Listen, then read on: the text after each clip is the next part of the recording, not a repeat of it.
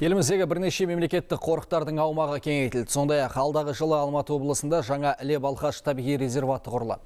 Бұл туралы бүгін Астанада өткен Біріккен ұлттар ұйымының даму бағдарламасының семинарында айтылды. Бұл жұмыстарды жүзеге асыруға Біріккен ұлттар ұйымының даму бағдарламасы мен ғаламдық экологиялық қор және Қазақстан үкіметінің арнайы жобасы септігін тигізген.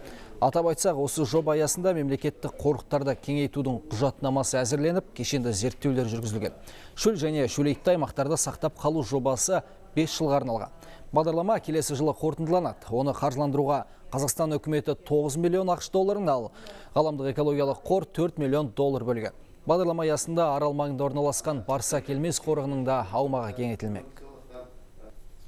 барса келмес мемлекеттік қорғаны жер көлемі өткен жылы ұлғайтуға аудан әкімінің қаулысы шықты яғни мына сырдарияның құяр сағасынан 2600 гектар жер телімі беріліп осы келешек барса келмес мемлекеттік қорғанының еншісінде болады ол жерде құстардың қайтуы келуі және қонуы демалуына толық мүмкіндіктер жасалынады. Онымен қоса мынау балықтың негізгі құяр сағасындағы қорғау шараларына жұмыстар жасалынады.